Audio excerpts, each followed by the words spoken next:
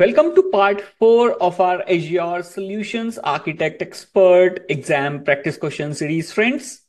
This is question number 22 of the series. You have an on-premise database that you plan to migrate to Azure. You need to design the database architecture to meet the following requirements. And your requirements are the architecture should support scaling up and down.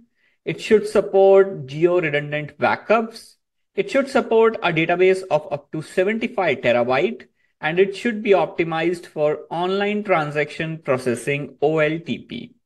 What should you include in the recommendation? Now, the first part of the question is around the service that you should include.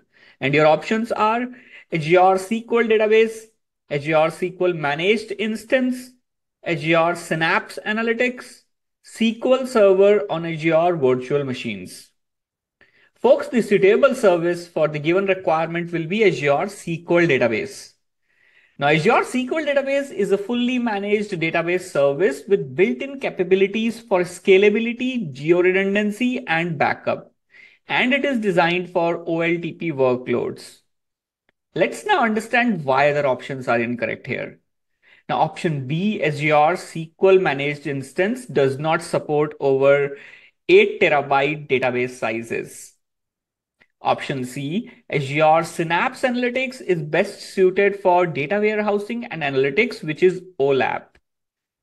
And the last option, SQL Server on Azure Virtual Machine is not ideal as it's not a managed service. Now, the next part of the question is talking about which service tier should you use for the service that you chose in the previous part of the question. Your options are basic, business critical, general purpose, hyperscale, premium, and standard. And folks, you will need to choose hyperscale service tier. Because it supports up to 100 terabyte data size and our requirement is to have a support of 75 terabyte, which is not supported by any other service tiers. Let's look at next question. You have an Azure subscription that contains a storage account an application sometimes writes duplicate files to the storage account. You have a PowerShell script that identifies and deletes duplicate files in the storage account. Currently, the script is run manually after approval from the operations manager. You need to recommend a serverless solution that performs the following actions. Runs the script once an hour to identify whether duplicate files exist sends an email notification to the operations manager requesting approval to delete the duplicate files, process an email response from the operations manager specifying whether the deletion was approved, runs the script if the deletion was approved. What should you include in the recommendation? Your options are combination of different services. And the first one is Azure Logic Apps and Azure Event Grid.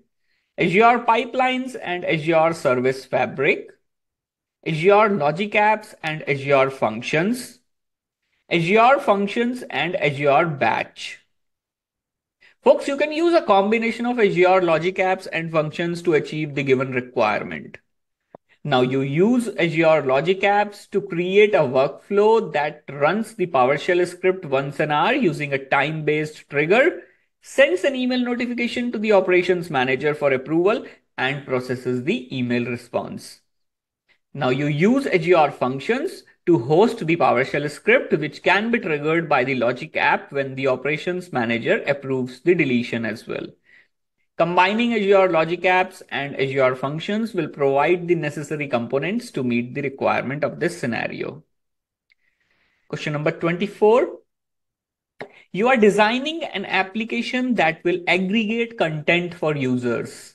You need to recommend a database solution for the application. The solution must meet the following requirements. It should support SQL commands. It should support multi-master writes and guarantee low latency read operations. What should you include in the recommendation?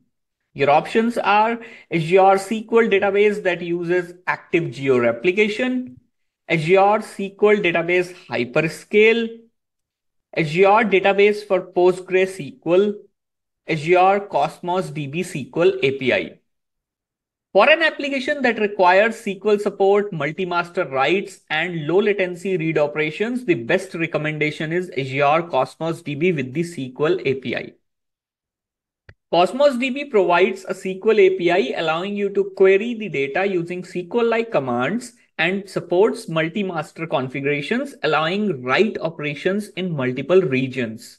This ensures high availability and enables low latency writes from any region.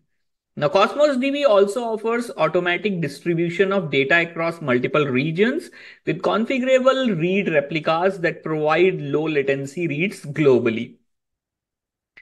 So folks, if you still have any doubts in why I have chosen Azure Cosmos DB SQL API, then please post your doubts in the comment section and I'll try to address them as soon as possible. You have an on-premise network and an Azure subscription. The on-premise network has several branch offices. A branch office in Toronto contains a virtual machine named VM1 that is configured as a file server. Users access the shared files on VM1 from all the offices. You need to recommend a solution to ensure that the users can access the shared files as quickly as possible if Toronto branch office is inaccessible. What should you include in the recommendation? Your options are a recovery services vault and Windows Server backup, Azure Blob container and Azure file sync, a recovery services vault and Azure backup, an Azure file share and Azure file sync. And folks, the correct answer here is option D, an Azure file share and Azure file sync. Azure File Share provides a cloud-based SMB file share that can be mounted to any office, ensuring fast access to files, even if the original on-prem VM is unavailable. And Azure File Sync allows you to centralize your file share in Azure and sync files from your on-premise VM to an Azure file share. In case the Toronto branch office is inaccessible, users can access the files directly from the Azure file share without interruption. By caching frequently accessed files in Azure, Azure File Sync ensures that users can still access important files quickly. Folks, let's look at question number 26. You have an Azure subscription. The subscription contains 100 virtual machines that run Windows Server 2022 and have the Azure Monitor agent installed. You need to recommend a solution that meets the following requirements forwards JSON formatted logs from the virtual machine to a log analytics workspace, transforms the logs and stores the data in a table in the log analytics workspace. What should you include in the recommendation? And the first part of the question is to forward the logs, what should you include? And your options are a linked storage account for the log analytics workspace, an Azure monitor data collection endpoint, a service endpoint. Folks, for forwarding the logs, you should use Azure Monitor Data Collection Endpoint. Azure Monitor Data Collection Endpoint, also called as DCE, is designed to forward logs from various sources, including virtual machines, to a log analytics workspace. It allows you to collect custom log data in JSON format and forward it for analysis. DCE in combination with DCR, which is data collection rules, allows you to transform log data before it is ingested into log analytics. And after transformation, the logs are stored in a custom or predefined table in the log analytics workspace. Now, folks, the next part of this question is, what should you include in the recommendation to transform the logs and store the data? Your options are a KQL query, a WQL query, an XPath query. To transform the logs and store the data in Azure Log Analytics, you should use KQL queries. KQL query language is used by Azure Log Analytics to query and transform data in the workspace.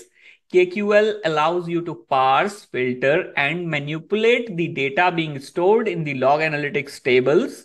It is specifically designed for log queries and data manipulation in the Azure environment. Now, friends, let's understand why other options are incorrect. WQL, which is WMI query language, is used to query information from Windows Management Instrumentation, which is WMI, typically for performance or configuration data on Windows system, but it is not used for transforming and querying logs in Azure Log Analytics. Now, XPath is a query language used for selecting nodes from XML documents, not for querying or transforming log data in log analytics. Folks, if you are liking the content, do not forget to hit the like button and subscribe the channel. Question number 27. You have a multi-tier app named App1 and an Azure SQL database named SQL1. The backend service of App1 writes data to SQL1. Users use the App1 client to read the data from SQL1. During periods of high utilization, the users experience delays retrieving the data. You need to minimize how long it takes for data requests. What should you include in the solution? Your options are Azure Cache for Redis, Azure Content Delivery Network, Azure Data Factory, Azure Synapse Analytics. Friends, to minimize delays in retrieving data during periods of high utilization in the app, the best solution would be Azure Cache for Redis. Because it stores frequently accessed data in memory, allowing for faster data retrieval compared to querying the database every time. It is ideal for improving application performance by reducing latency and offloading the backend database during high utilization periods. Now let's understand why other options are incorrect.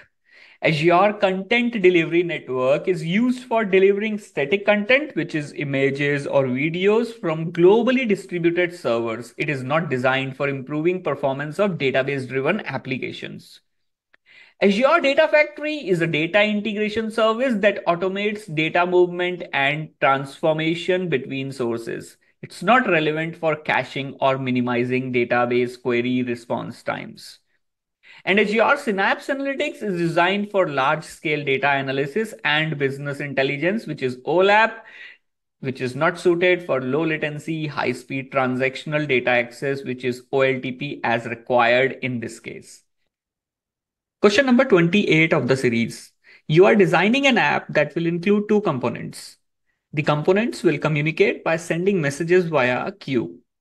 You need to recommend a solution to process the messages by using a first in, first out pattern, which is FIFO pattern. What should you include in the recommendation? Your options are storage queues with a custom metadata setting, Azure Service Bus queues with partitioning enabled, Azure Service Bus queues with sessions enabled, storage queues with a stored access policy. Folks, you should use Azure Service Bus queues with session enabled in this case. This ensures FIFO messaging because session enabled queues allow the messages that share the same session ID to be processed in the order they were sent.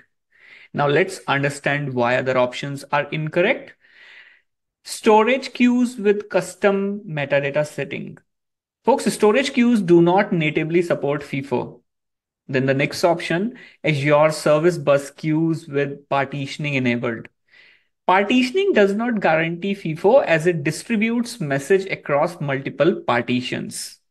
And the next option was storage queues with a stored access policy. This is for controlling access, not for message ordering. So folks, that's all for this part of the series. We will be back soon with more questions. So stay tuned.